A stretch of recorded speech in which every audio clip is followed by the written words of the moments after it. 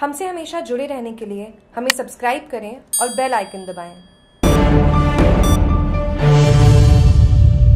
घायल बछड़े को गौशाला ने शरण देने से इनकार किया। अध्यक्ष मीना ने कलेक्टर के बाहर बछड़े को रख दिया धरना।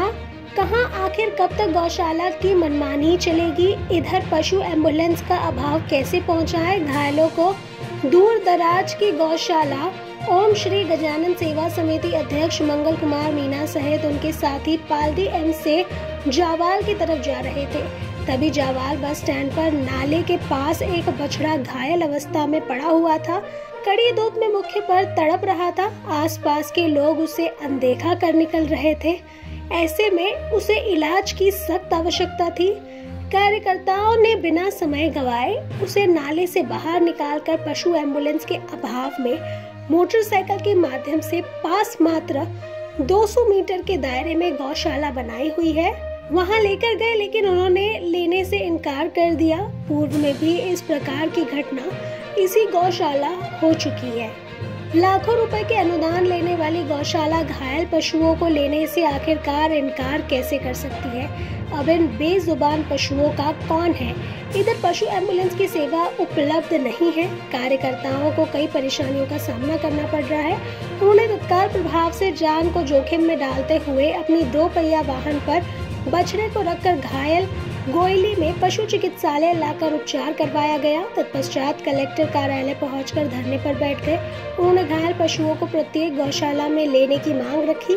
साथ ही पशु एंबुलेंस सेवा उपलब्ध नहीं होने बाद कई बछड़े को कलेक्टर ऑफ़िस के सामने रखकर धूप में बैठाकर मांग करते रहे। बछड़े को छाया में रखा गया, पानी पिलाया गया है। दोपहर का समय था। ऐसे में धूप में बैठकर ही इंतज़ार करना पड़ा। हम प्रशासन को अवगत करवाना चाहते थे कि गौशाला की मनमानी आखिरकार कब तक चलेगी। टोल कंपनियों की मनमानी आखिरकार कब तक चलेगी?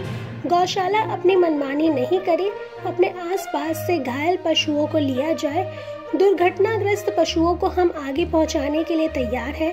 साधारण घायलों को रखने की ज़िम्मेदारी प्रत्येक गौशाला की बननी चाहिए। वहीं शिकायत भी दर्ज करवाई गई है। कुछ समय बाद डीएम से मिलकर समिति अध्यक्ष ने वार्तालाप कर मामले से अवगत करवाया गया। पशु एंबुलेंस के बारे में भी उनसे बात हुई है। गौशाला घायल पशुओं को लेने से इनकार कर रही है। उन्होंने भरोसा दिलाया है। कहा, पशु एंबुलेंस के बारे में हमारी भी कोशिश जारी है। बाद ज्वाइंट डायरेक्टर पशुपालन विभाग की टीम ने पहुंचकर घायल बछड़े को अपने वाहन में रखवा कर पीपल फॉर एनिमल सिरोही भेजा गया है, जहाँ उसका शरण देते हुए उपचार किया जाएगा। आश्वासन के बाद धरना समाप्त कर दिया गया।